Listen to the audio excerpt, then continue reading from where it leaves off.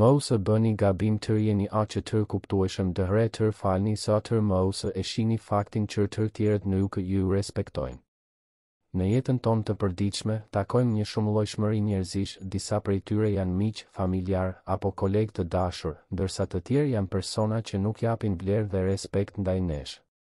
Është e rëndësishme që të kujdesemi për veten tonë dhe të kufizojmë ndikimin e personave negativë që mund të na afrohen, por që nuk tregojnë asnjë lloj respekti.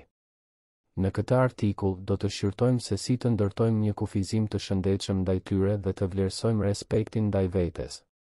Vlera e respektit ndaj vetes. Respekti ndaj vetes është një qëndrim i rëndësishëm ndaj vetes dhe të tjerëve. Kur ne respektojmë dhe vlerësojmë veten tonë, ne krijojmë një kufizim natyral ndaj personave që nuk i respektojnë.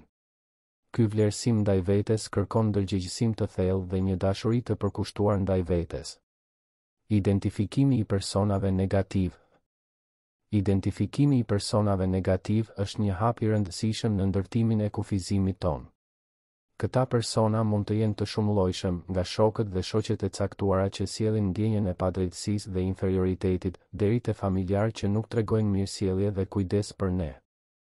Identifikimi i tyre është kritik për të vendosur një kufizim të shëndetshëm. Vendosja e kufizimit dhe siguria personale Pas identifikimit të personave negativë, është koha për të vendosur kufizime dhe për të siguruar veten tonë. Kjo nuk do të thotë të ikim plotësisht nga këta persona, por të vendosim kufizimet dhe distancat të nevojshme për të na ruajtur nga ndikimet e tyre negative.